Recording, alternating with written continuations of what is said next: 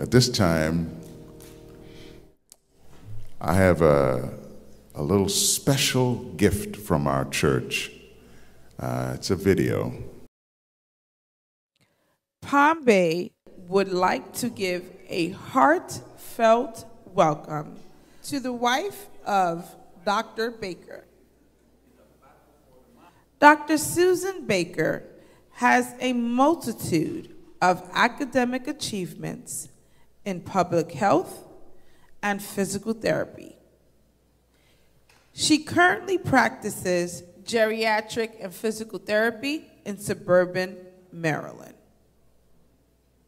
But most importantly, Bay, today, April 22nd, she is celebrating her birthday. Let's wish her a blessed and beautiful Sabbath birthday. Happy birthday, Dr. Susan Baker. Amen. All right, Sister Dr. Adams, will you come at this time? We have a little presentation, and this is our way of saying happy birthday to Sister Baker. Amen. Amen. Praise the Lord. Praise the Lord. What a good God. Yes, Sister Adams. Praise the Lord, church family. It's an honor and a privilege to stand here today, and I'm so happy to see Dr. Delbert Baker in the house. Amen. Dr. Baker, I remembered when we heard that you accepted the call to go to Africa. Our women's prayer team went into prayer for you because we know you were going across the continent and a new church home, a new um, academic setting, and we were, well, we know that you're a good, the step of a good man is ordered by the Lord. And so we prayed for weeks and months. And now look at God has done great things for you. You look wonderful. So I know God has blessed you as you went to serve you and your beautiful wife. How awesome is that? Praise the Lord. And you would come back to us at Palm Bay. Amen. Dr. Phipps. Now we're ready for Dr. Susan.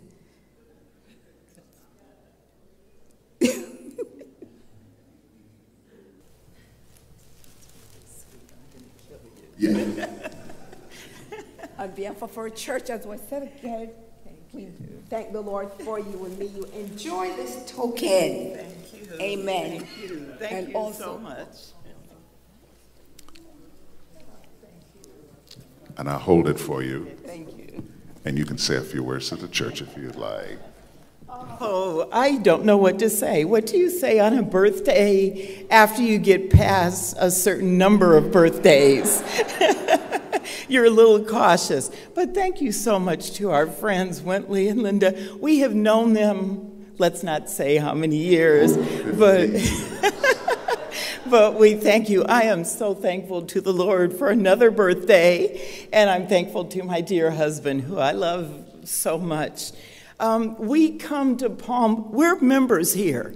You don't know this, but we're members in a church in Maryland, but we often come here to worship with you after we go to church in Maryland. So we really feel like Palm Bay members, but thank you so much. Linda, we love you. Wintley, we love you. Thank you. God bless you. Please welcome Sister Naomi Noseworthy.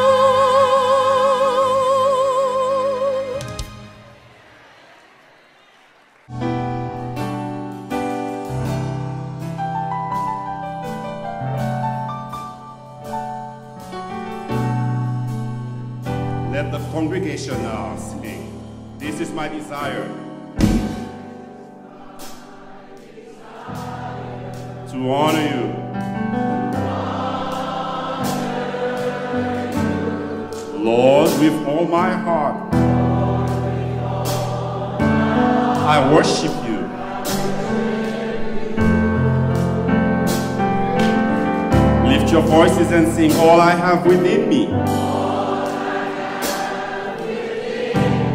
I give you praise.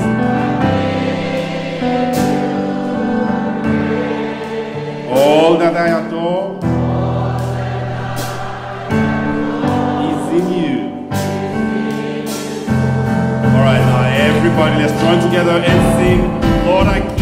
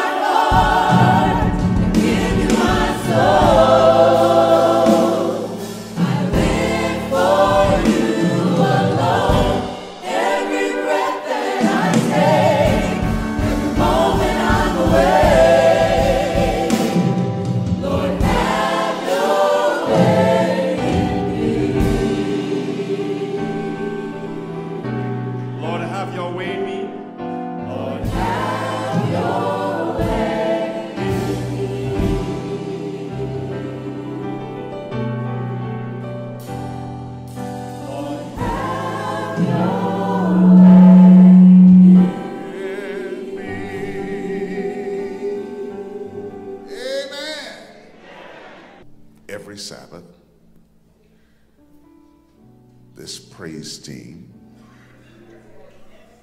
without any compensation just because of their love for God and their desire to serve.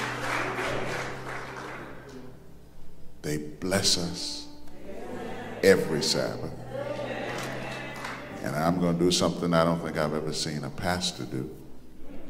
I want to hug every one of them. Say thank you. Say thank you. God bless you. Thank you. Thank you. God bless you. I'm going to hang on to this one a little longer. God bless you. Thank you. You were beautiful. Beautiful job this morning. And I, am going to go crazy. I'm going to give Brother SL a hug too. How about that? Amen. Thank you. Thank you. Thank you. Thank you. Thank you. Let the church say amen. Amen. Thank you. God bless you. Thank you. Amen. It's my, my privilege and my honor to introduce and to present to my church family this morning. You feel the love in this church? That's Palm Bay. You, are feeling Palm Bay today. And we are honored to extend that love to the speaker of the hour, Dr. Delbert Baker. A Seventh day Adventist minister, pastor, author, educator, administrator, a man I have known and have been privileged to call a friend for more than 50 years. It's hard to have people in your life that you still call friend after 50 years. Dr. Baker was a very successful pastor, but while we were students together, teenagers at Oakwood University, way back in the 70s, I mean, like way back, I remember my wife, who was my girlfriend then, still is. Thank you, Jesus. Uh, she, she made a prophecy. She, she said, I prophesied that Delbert Baker is going to one day become president of Oakwood University, which he became and served admirably as the 10th president of Oakwood University and took it from a college to a university. And I was honored and blessed when he allowed me to be the first recipient of an honorary doctorate from Oakwood University. He served as the vice president of the General Conference. He served as president of the Adventist University of Africa, transforming that institution forever. It'll never be the same. And he currently serves as Director of Research and Development at the Office of Regional Conference Ministries in Huntsville, Alabama. He and his dear wife, Susan Baker, have three sons, six grandchildren, and we were all, Linda and I have often remarked, isn't it amazing? They loved the Lord so much, they gave all their children Bible names David, Benjamin, and Jonathan. But Linda and I felt privileged when they paid us the greatest compliment parents can pay their friends by allowing us to babysit their boys. You know, you trust somebody when you leave your children with them. But we love them, loved them a long time. And as you know, my church family knows, very rarely do you see your pastor sit to listen to someone else preach. When that happens, you know that's a good friend. And as we were sitting there, he leaned over to me and said, Are you going to sing? I said, Yes, I'm going to sing. And I want to do a song that I think,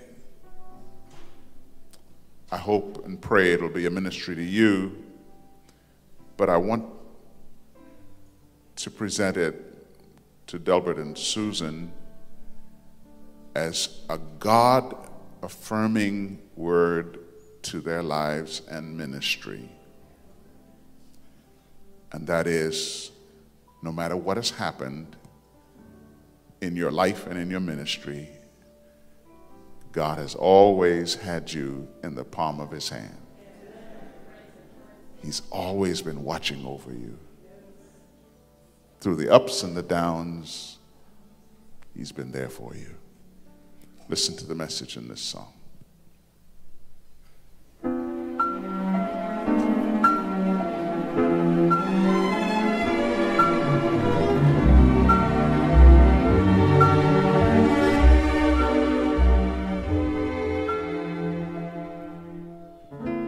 Why should I feel discouraged? Why should the shadows come? Why should my heart feel lonely and long for heaven and home? when Jesus is my portion, my constant friend is He. His eyes on the sparrow, and I know He's watching over me. His eyes on the sparrow, and I know He's watching over me.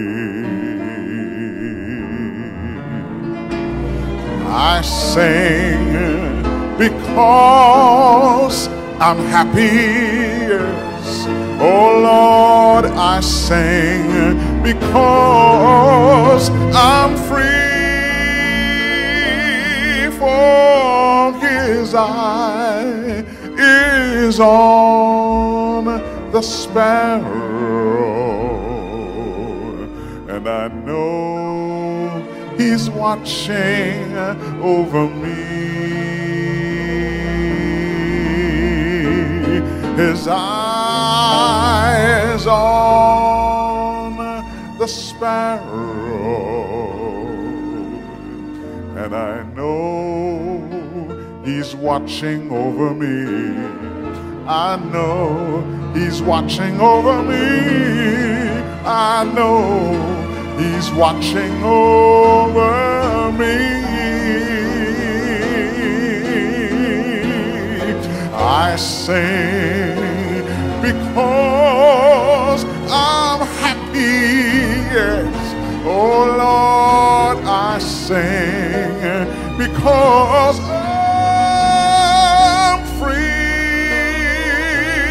For his eye is on the sparrow.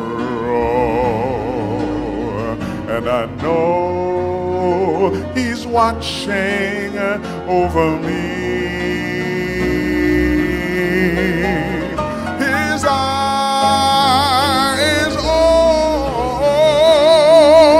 the sparrow,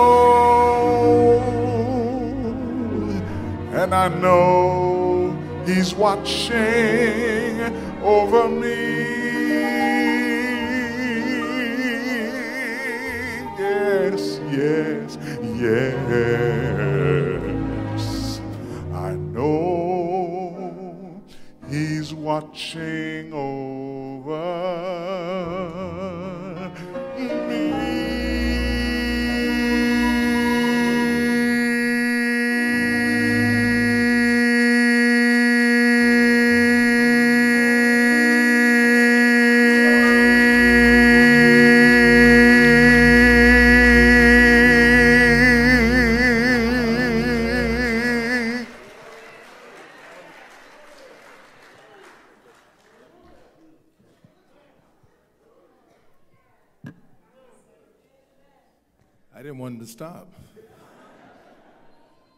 I tell you, I feel so much love in this place this morning.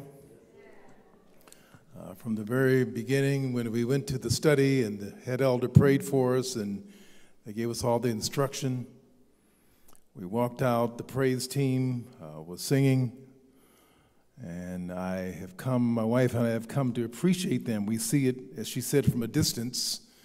And, and Wade, you, you're holding well, brother. He's holding the line. And then the music, the wonderful music, uh, the honoring of my dear wife of years. 48 years. 48 years. Uh, I'm, I'm okay with that. I'm okay with that, and I'm, I'm okay with my, my age as well. Uh, I, I told my wife, I almost, I said, I'm going to tell my age this morning. Uh, but I decided I wouldn't, you know. So it kind of works better that way that we keep it separate there. And the kind statements, uh, the lovely comments from my sister, uh, Pastor Phipps, I now know why what we, Susan and I told you and Linda this morning, I know the secret. We said we went five years uh, to the continent of Africa in Nairobi, Kenya, at the Adventist University of Africa. It's a general conference institution, graduate school, only masters, PhDs, and DMins for the three African divisions on that continent.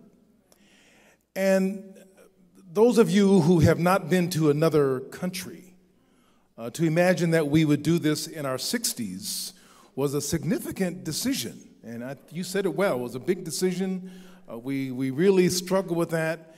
But I remember when they asked us would we serve another term, and we said no, it was five years, but we agreed to that.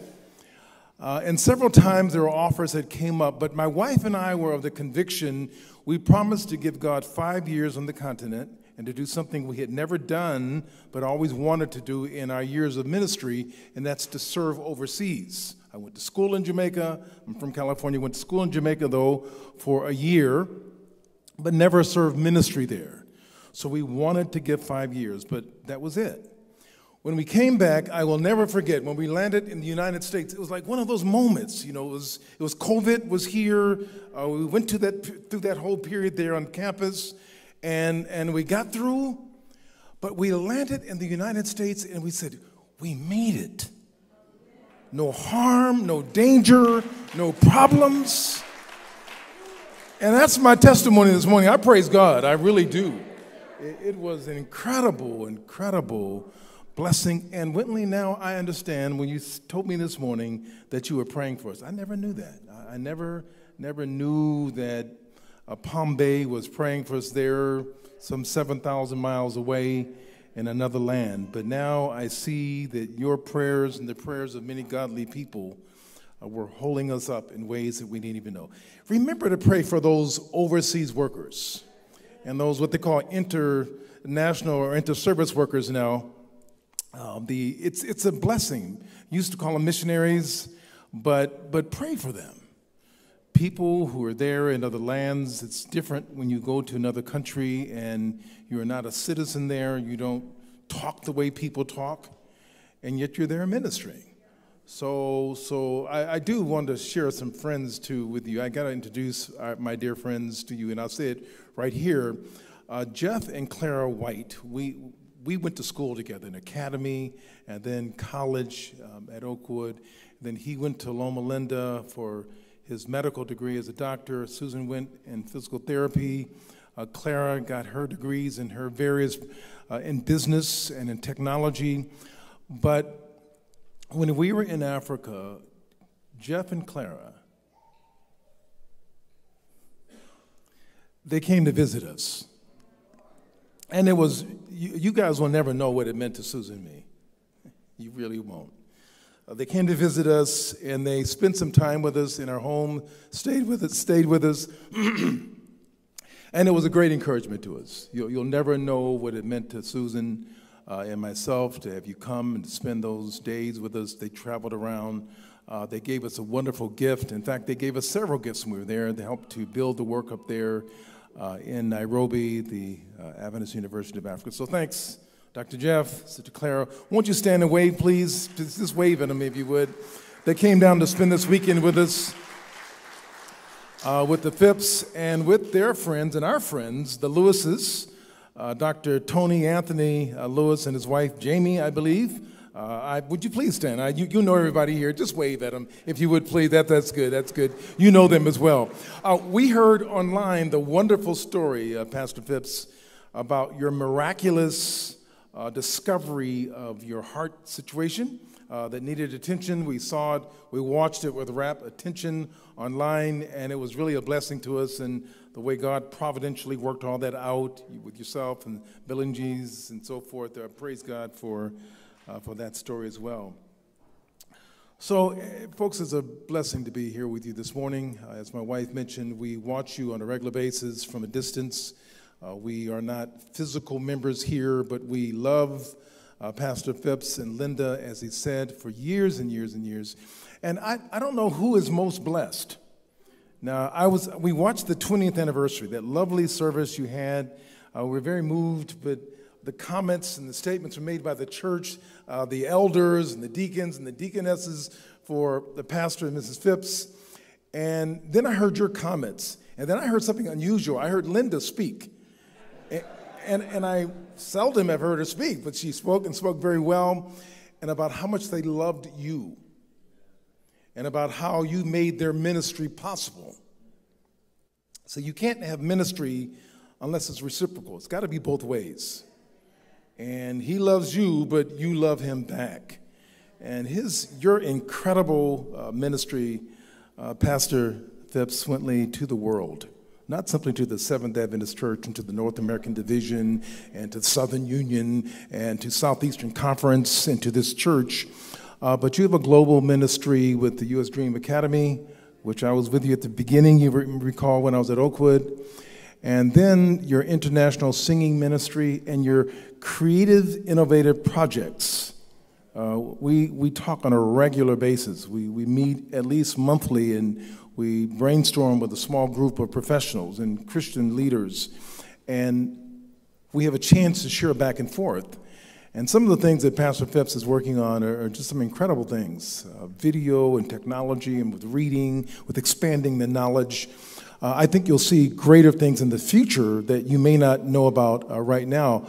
Uh, but that's only possible, his ministry and the Dream Academy, because you have unselfishly allowed him to serve the world. That's wonderful, folks. And I just want to personally affirm you and to personally affirm you, uh, Pastor Phipps, for the love that this congregation has one toward the other. 20 plus years is kind of hard to imagine that. I've never been in place 20 years. Uh, but you've done this, and, and God has blessed you in an incredible way. May He bless you with many, many more uh, years. So I tell you, there's so much love, I don't know what to do. But I think what I should do is preach the Word of God uh, with you this morning, and I have a message for you. I have a message for you.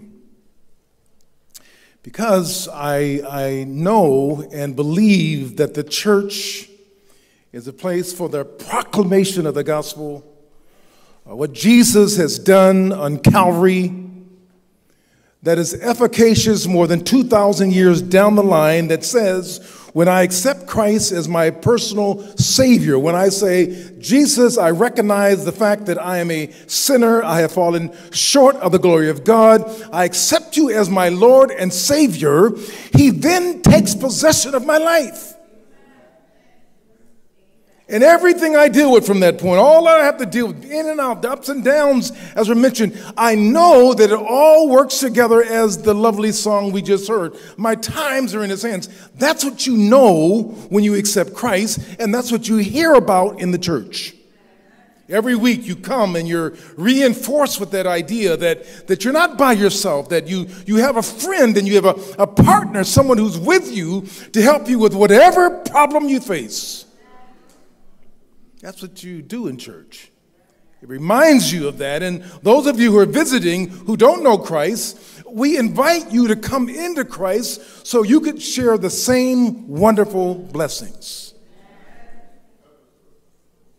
But there's more than that. We got problems. We are human beings, we are sinful, we make mistakes, we blow things, we, we, we stumble over ourselves, we argue with each other, we get in fights, we, we commit sins in spite of the love of God. But yet, the gospel is so great and so encompassing and so powerful, it says that even when you sin, Jesus still loves you. Hallelujah. He still loves you. But when you're off by yourself, and you're off in a corner and you're not with the people of God, you forget that. And the devil takes that from your mind and he allows you to feel that you're by yourself and, and you're so evil and so wicked that God doesn't love you and he's got nothing to do with you. Church reminds you that he does love you. And he wants you to confess your sins and, and ask for forgiveness and repent, and he accepts you back. That's what church does. But church does something else, and that's what I want to focus on for the next few minutes this morning. And that is, it tells you how to deal with the mess of life. And I tell you, we got some mess, folks. I mean, when you see the United States of America and you see the, the tensions we have racially, uh, fighting one race with the other, one group with the other, you see politically, we've never seen it so bad in Congress. Just fighting one another, crazy stuff. We see congressional leaders and uh, judges and other people being accused and things going on. It kind of blows your mind, and you say, What's happening here? We see the violence. I, I just ran across this uh, from the Violence Archives. Just ran across it the other day. It says that we have now reached the unenviable position of we now have more mass killings in 2023 than we have days in the year. So we have 111 days in the year, and we have 163 mass killings. I mean, that's mind boggling. How are we going to deal with that stuff?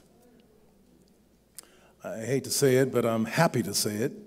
When I came in, one of the things the church told us, they said, Well, we have security here, so we want you to see that this church is secure. And, and I saw the brothers, I said, Yeah, I'm, I'm secure. we're secure. But, but that's what we're dealing with now. That's what we have to deal with. That's the world we're living in.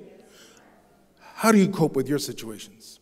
It was in 1942 November 28, at the Coconut Grove Club in Boston, Massachusetts. About 1045, a fire broke out in this bar, and the people there were immediately just overwhelmed with fright, and they all rushed toward the door, seeking to get out. And as a result of that, they blocked the door, and they were not able to escape. And literally, the record shows us that some 492 people were killed. It was a terrible incident. Terrible incident. But to me, it prefigures the times that we're living in. Things are happening, churches, and recently in Nashville. I know that place, and I know that school, and, and other places in malls. And we, we see these horrendous things happening, and we say, What should I do? It's like we're concussed, TBA, the traumatic brain injury or attack. Just it hits us and we're rattled. We don't know. We wonder in our own families, we see horrible things happening in our families and in our churches and in our schools, and we say, What will I do? How will I deal with that? The church can help you. Your pastor spoke on depression not long ago. And you come here to hear to get tools on how you deal with these issues of life. And it all comes from the Word of God. Amen? For the Word of God? The powerful Word of God, the inerrant, uh, the reliable, the sharp Word of God that says to us that when we open this book and we read these words and we believe them, we are empowered to face whatever life has for us. That's what the Bible does. That's what the Bible does. That's why you come to church. That's why your pastor preaches and your teachers teach and your leaders lead because you want to know how to deal with the issues of life. Well, that incident that happened in Coconut Grove there, that terrible accident. Well, the, the people in the city of Boston were overwhelmed. The doctors couldn't handle it. Uh, they, the trauma units, uh, the patients, there were so many of them, not simply the 492 that died, but there were many others who were injured. The smoke inhalation, uh, the accidents, the harm that happened to them, it, it was a mess. And then, even after that, uh, they did studies on what happened to those people who were in that bar. And many of the people who were there, uh, they had uh, survivor's guilt, meaning that they don't know how they got out of it. And they figured they felt guilty. How did I get out? But no one else got out. And they had to deal with that. They had to deal with the trauma. How do you survive that type of mental concussion or that spiritual block. How did God let this happen? Or what's going on with our world? Why is this going on? And I have a simple story to tell you that the elder read this morning uh, for us in 1 Samuel chapter 30. And I'll give it to you rather directly, and I think you'll get it. 1 Samuel chapter 30, and the verse, the verses you read this morning, we read this morning. And now it happened. Now remember, folks, it, now it happened is whenever you read that in the Bible, that's it, it could happen in your life too. Now it happened one day you took a certain path and you had an accident. One day you went one place and you ran into some harm that you never anticipated. Now it happened. It's, it's the events of life that problems will come and we have to be prepared for whatever comes our way. That's the first point I want to make here that problems happen in a world of sin. So don't be surprised when it happens. Persecution will come. You will have problems. You will have to struggle with yourself. You have to deal with deep inner conflicts in your own life and in your family that you got to work through. They will come. Now it happened. When David and his men came to Ziklag, now, now I, I want to just be truthful with you. This passage, when you read it right off, you just think about a bad thing that happened. The truth of the matter was, David was being bad at the time this chapter happened. He was in Philistine territory, he shouldn't have been there. Remember, Saul was following him around and he was tracking him down. David was supposed to be king and it didn't think like it was happening. He was like, Lord, when are you going to make this happen in my life? I'm waiting for it. I'm looking for that promise you gave me. I don't see it. And so then he became nervous when, when Saul was trying to kill him. And so he said he would slip off to the Philistines. Now, he shouldn't have done that. He should have known better than that. Now, folks, we do things that we, sh- we know better, don't we? Come on. Now, some things happen to us that it wasn't our fault, but other things happen to us is because we did wrong. I'm so glad that God doesn't leave us in.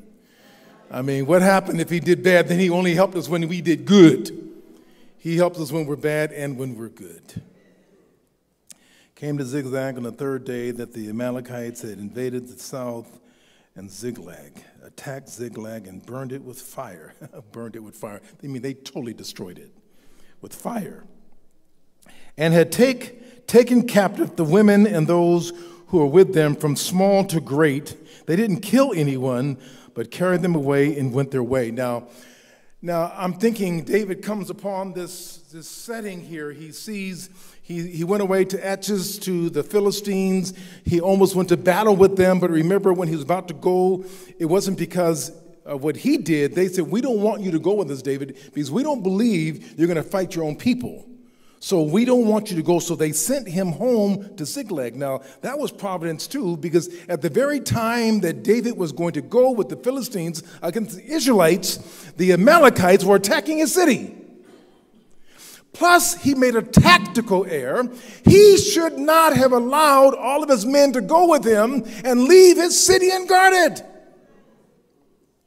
He had attacked the Amalekites himself, and so why would he assume that he was safe without leaving protection? So not only was he wrong spiritually in the wrong place, but he was wrong tactically or militarily by not being thoughtful. So he was dead wrong. If God wanted the judgment to fall upon him and leave him in the mess he was in, he could have done it. But my God loves us. Amen.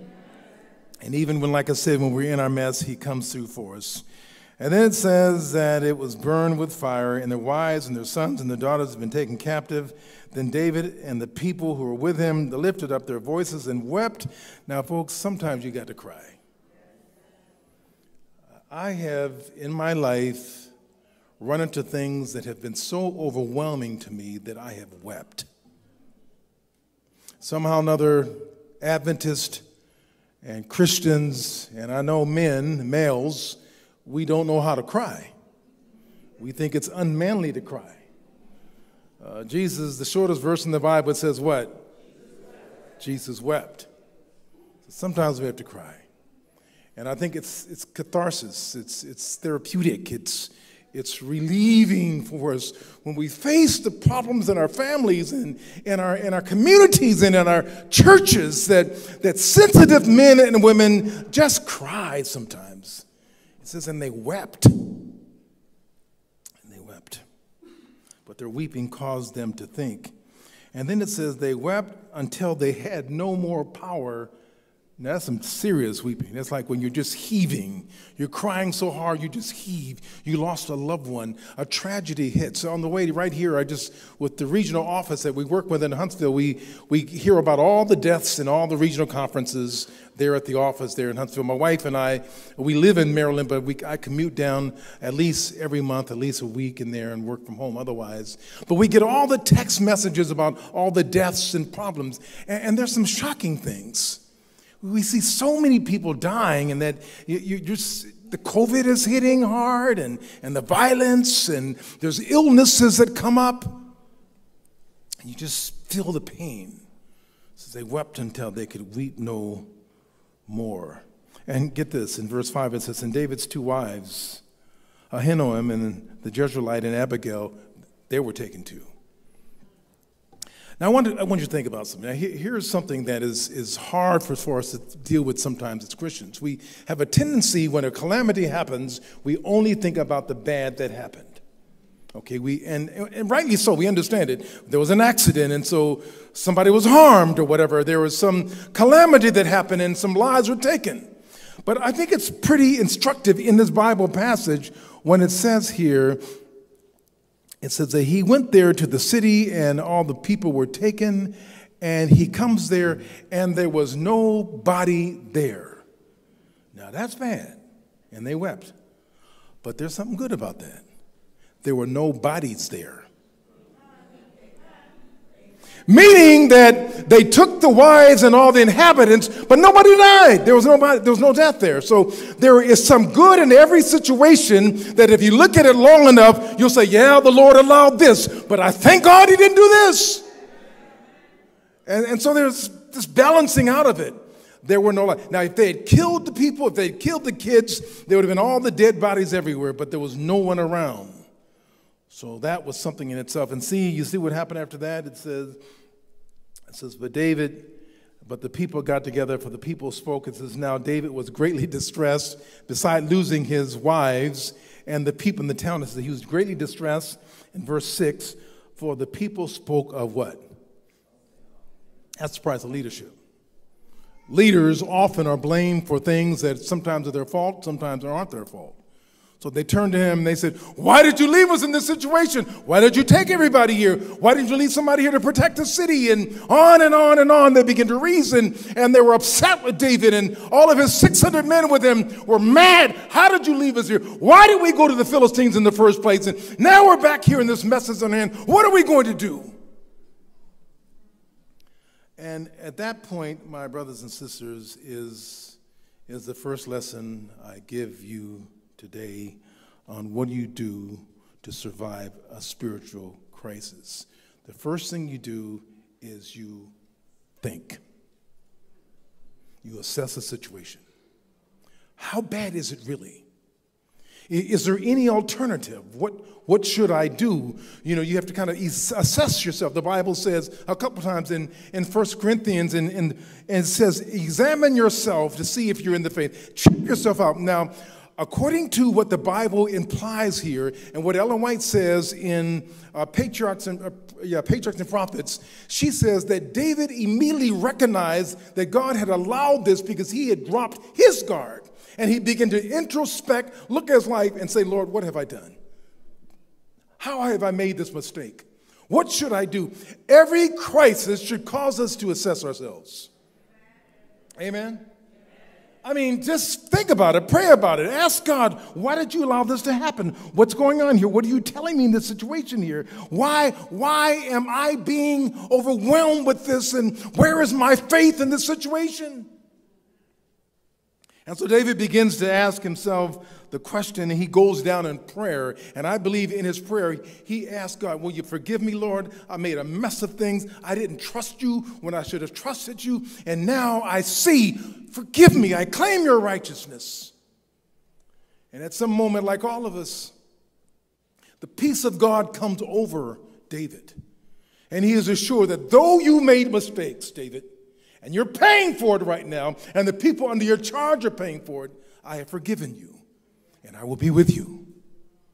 And he gives him this assurance, and somehow or another, David it says, David encouraged himself or he strengthened himself. He built himself up. Do you have that ability? Can you assess a situation and you're in a mess? You got some physical challenge. You don't know what to do. The doctors are giving you doom and gloom. What do you do when you assess a situation? Can you encourage yourself at that time and say, God is with me?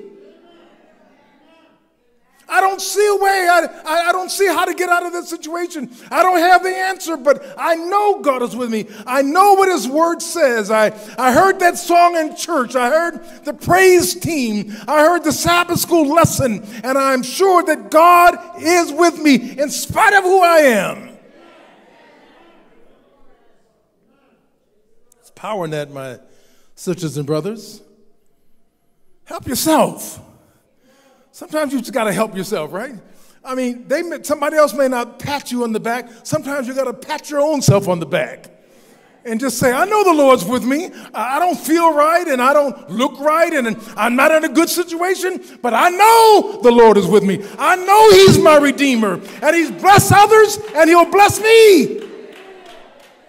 Oh, yes. Oh, yes. You got to encourage yourself. Check it out and just see, think. Stop. You got to stop crying at some point. Now, you know, I said you got to cry. Nothing wrong with crying, but you don't keep on crying. You got to wake yourself up and say, okay, now let's just kind of pull this thing under control.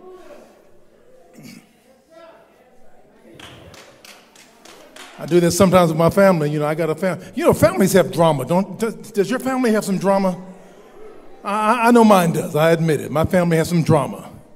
I got three hard-headed adult sons, and they got they got six kids, and so we got six grandkids, and you got me. I mean, not my wife, me. I'm saying, you know, just so you got drama, but you you got to stop and pull back and say, okay, now what can I do to approach this situation here? Let, let me use some godly principles. I heard the pastor preaching about it last. I'm dealing with depression myself. Can I use some of that in checking some of my own depression? Or is it only a message for somebody else? So the first thing you assess yourself. The second thing is you ask for help. Ask God. Well, what did he do next? Then David said to the priest, Abiathar, Ahimelech's son, Please, please, he was gracious, please bring the ephod to me. And Abiathar brought the ephod to David. So David inquired of the Lord, saying, Shall I pursue this troop? This troop? Shall I overtake them? Now, see, after you do the assessment of the problem, when the calamity or tragedy happens to you, that concussion that knocks you off your feet, you cry, you feel bad about it, you check yourself out, you go to God and you get it right with Him. That's the assessment part. Then you come and you say, Lord, what should I do? How do I get out of this mess that I'm in? And, and I don't know about you, I journal. I journal on a regular basis. Every day I take notes. And in my journal, I do a lot of going through my thoughts and getting things clear in my mind. You don't have to do that. But you do have to say, Lord, what should I do? How do I get out of this situation?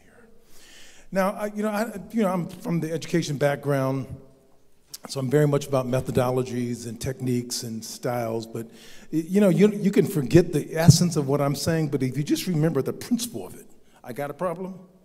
I do go to Jesus. okay, it's as simple as that. I mean, we, we can make it technical and say I'll do an evaluation or I figure out my methodologies. But really, what it is is, Lord, I made a mess of things. I'm sorry. Now I got to get out of this mess. What should I do? What should I do? So the priest told him, Go ahead. I, I often talk with Pastor Phipps, and you know he, he'll he'll say often, "Well, the Lord said to me," you know, you know he the, the way the Lord speaks to him. Now, now the way he speaks to Pastor Phipps may not be the way he speaks to you. You, you, you may hear a voice, you might, or, or you may just feel a strong impression. You just, that's what I should do. When you pray and you ask God to do something, you rise from your knees and you're looking for the answer. Because you know if you come to God in faith, He will not turn you away.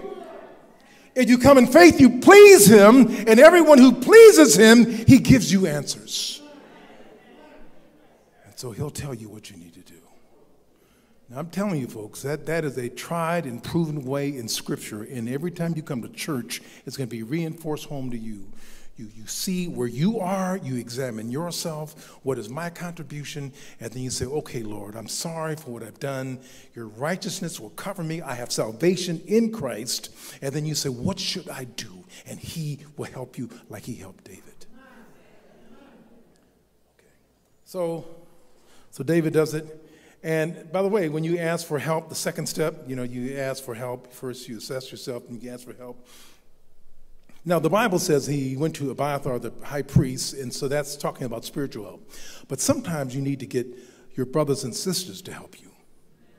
There may be somebody in this congregation who can help you with your problem if you just be humble enough to ask for help.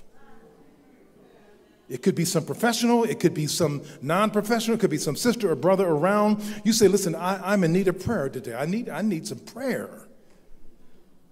That is showing your humility and you're asking God to come in and then they can help you. So after David prayed, he got the assurance from God to go forward. Then he goes to the 600 men who were ready to stone him before. He goes to them and he says, God has spoken to me. God says we should go forward. Now they're saying, okay, we have just come 50 miles from being with the Philistines, and where you going, Besor, the brook Besor they were going to is another 15, 20 miles. Those men are tired and weary and worn, but somehow or another, the enthusiasm of David and the fact that he believed God and he was convicted that God was with him, it caused them to say, okay, we'll go. And so they go. And the third item is you assess your situation, you ask for help, and finally, you act in faith. You do something. Now, some of us keep, you know, we have a problem, we ask God for answers, He gives us an answer. We just keep on praying and praying and studying the spirit of prophecy and coming to prayer meeting, the same, the same testimony week after week after week, and we're not doing nothing. We haven't changed any lifestyles. You got a health situation. Uh, God has impressed you. Yes, He'll bless you health wise, but you got to change some of your health habits to complement what you want God to do for you. Doctors, can you say amen? You, got, you, get a part, you, you play a part in this. So you've got to act. He had to get these men up, the 600 men up. They had to go to the south, not from the north where he's coming from, go south in Israel, and they were going after the Amalekites. He didn't know what to find, he didn't know what state they would be in. He just knew that God had impressed him to go, and so he went with these 600 men. And remember the story?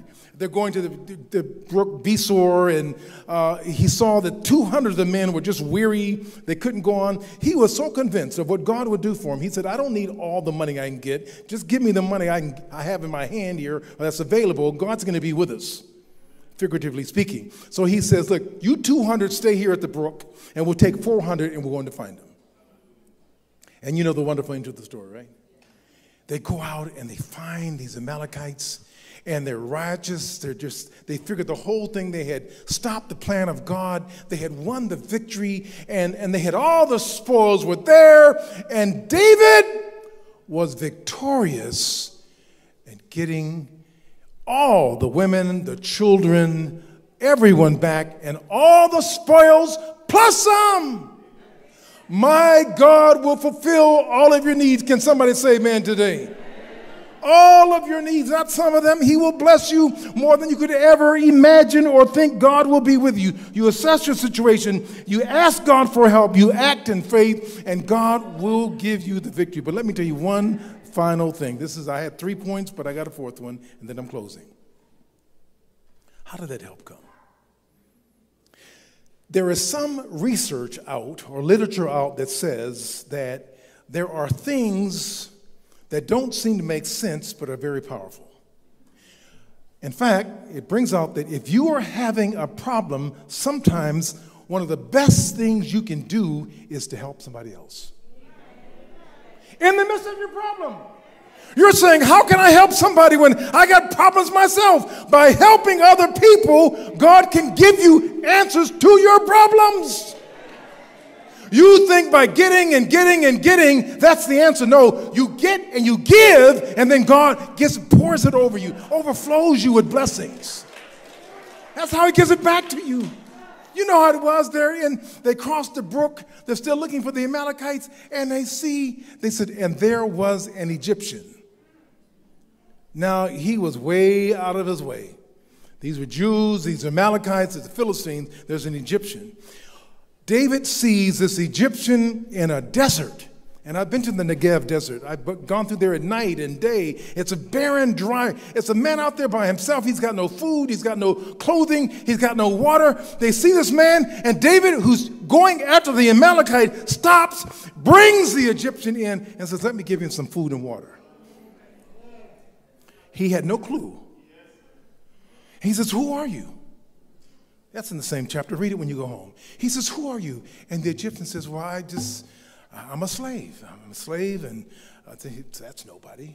Why do I want to spend time with a slave? No, no, listen, David. Be nice, David.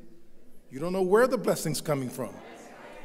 You don't know where it's coming from. David brings him in. He gives him some, some raisin cakes, some water, refreshes him. And he says, Who are you? He says, Well, I'm a slave of the Amalekites. Amalekites? Whoa, Amalekites. That's who we're looking for. So he says to him, He says, um, Can you tell me where they are? I happen to be looking for them. Can you tell me where they are?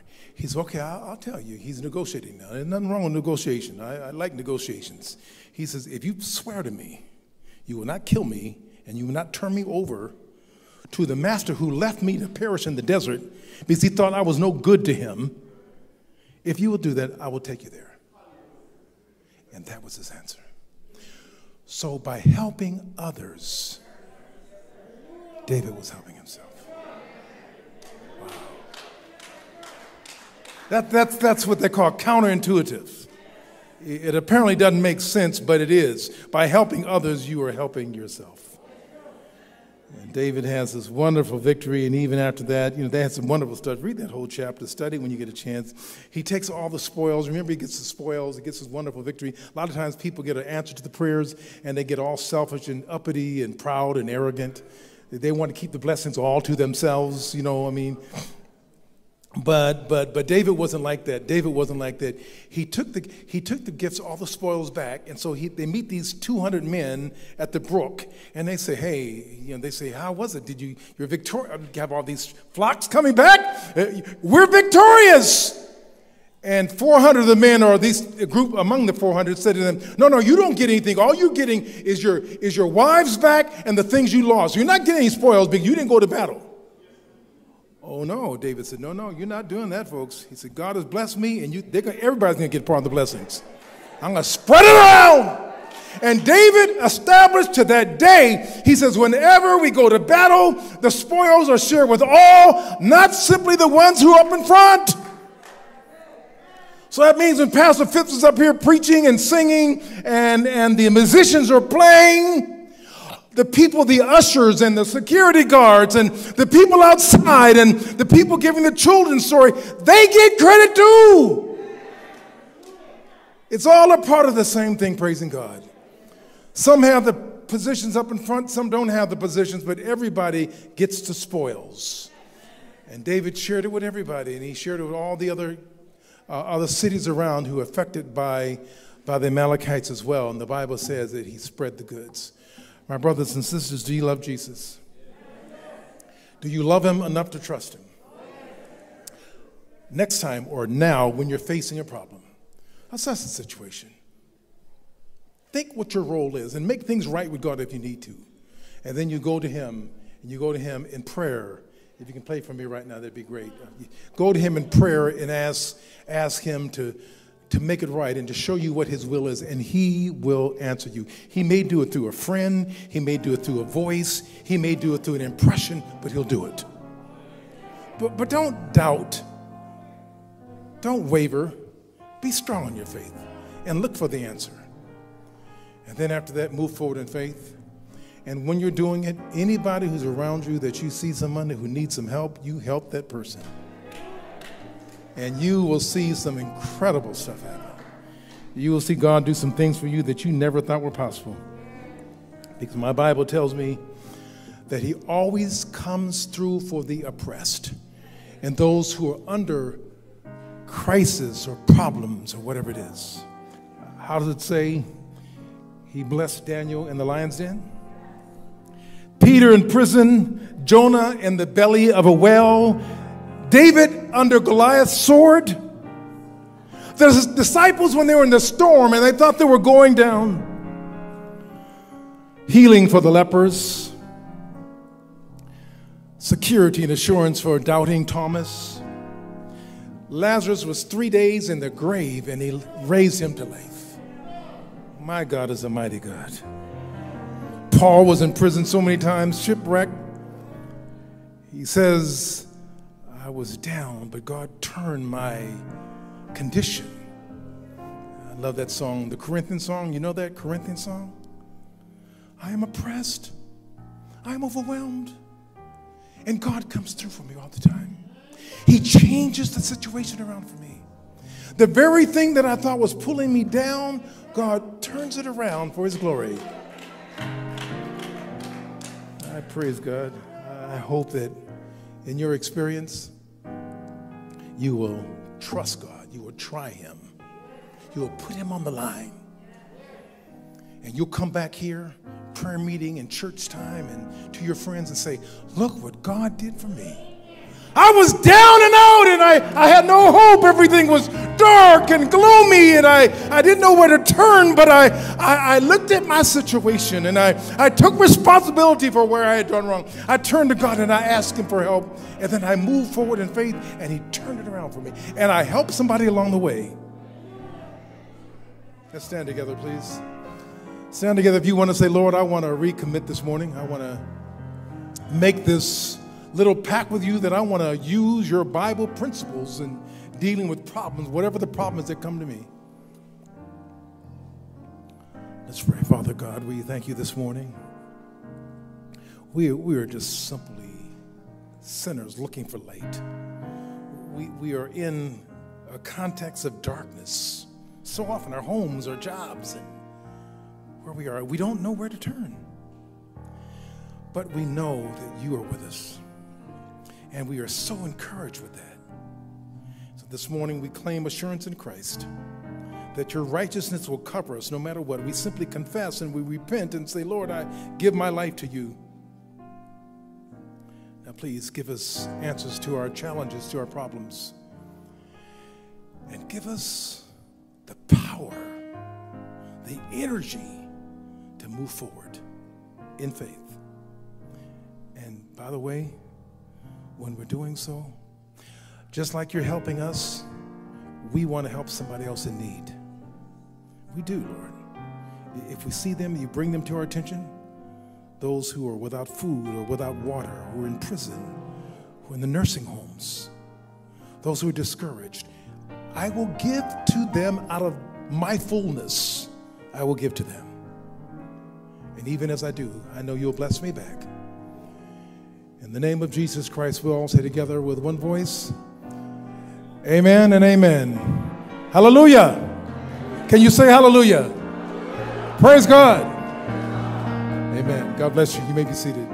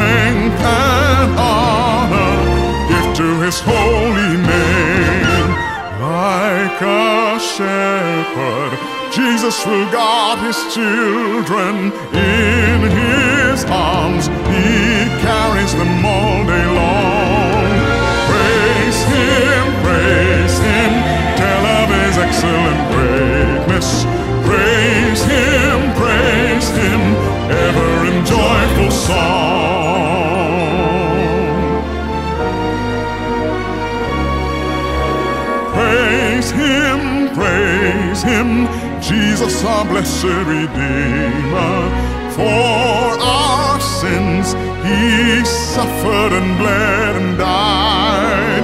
He our rock, our hope of eternal salvation. Hail him, hail him, Jesus the crucified. Sound his praises, Jesus who bore our sorrows, love unbounded, wonderful, deep, and strong.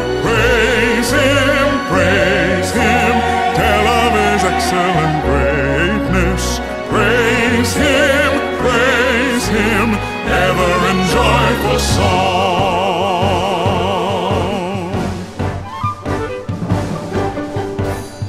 Praise him, praise him, Jesus our blessed Redeemer.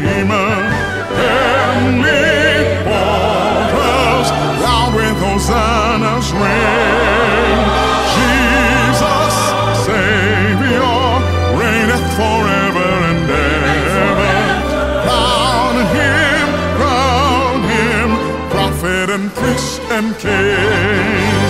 Christ is come.